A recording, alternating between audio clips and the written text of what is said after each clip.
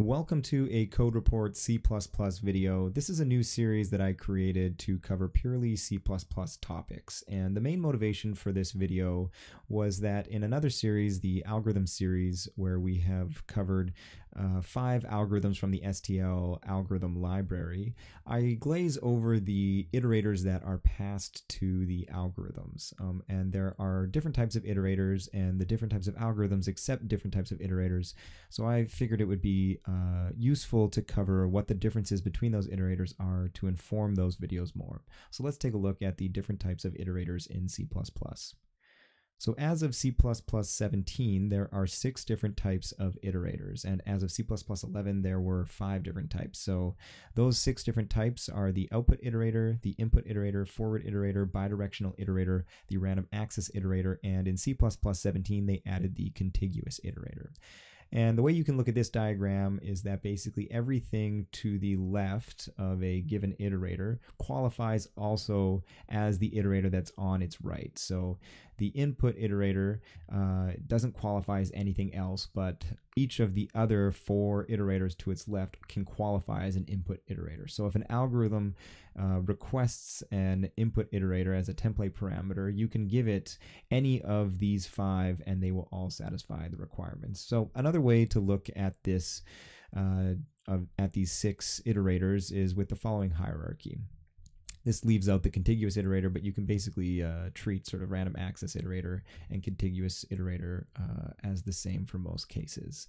So at the top level of our hierarchy, we have the input iterator and the output iterator. Input is read only and can only move forwards, and output iterator is write only and can only move forwards. Uh, the forward iterator can do both read and write and is only forward moving. Uh, the bidirectional iterator can both move forward and backward and can uh, both read and write. And the random access iterator is the most powerful iterator of all. It can read, write, and has random access.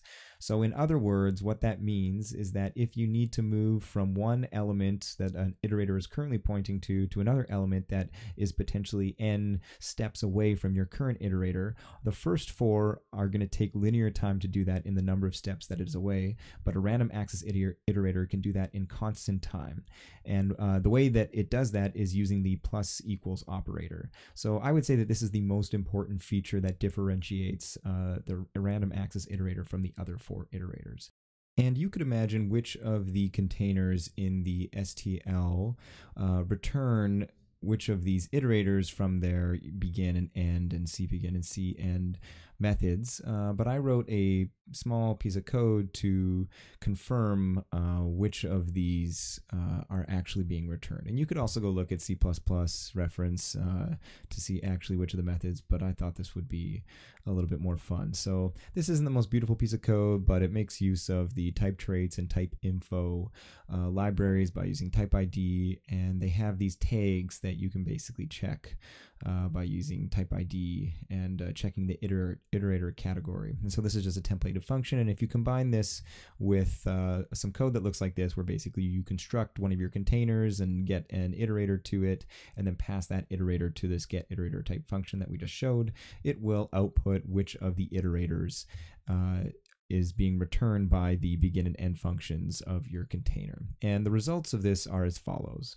Uh, so I'm not showing all of the containers provided by STL. So I left out the three container adapters, and I also left out the multi uh, containers, so multi-set, multi-map, and unordered multi-set and multi-map, because those are just going to be the same as uh, these four right here. And this is exactly what we we would expect. So array, vector, and deque all have random access iterators, so you can use the plus equals on those iterators in order to jump around, and that makes sense because you know these are stored contiguously in memory, so it's easy to do that. Uh, forward iterator is exactly what we expect as well, because that's exactly what forward list is. It's a singly list link. It's a singly uh, linked list that you can only iterate forwards in. Uh, list is bidirectional. Once again, that's exactly what we expect because a list is a doubly linked list that you can move backwards and forwards through. And for our associative associative containers, uh, we expect to see bidirectional as well because uh, these aren't stored contiguously in memory. They're implemented uh, at least the associative containers are implemented as red black trees, and the unordered associative containers are implemented as hash maps. Uh, so you're you're not going to be able to use the plus equals operator on an iterator to jump four spaces ahead. That doesn't make sense because these are stored with a key, and then you do a lookup to get the value. Um, so this is exactly what we expect.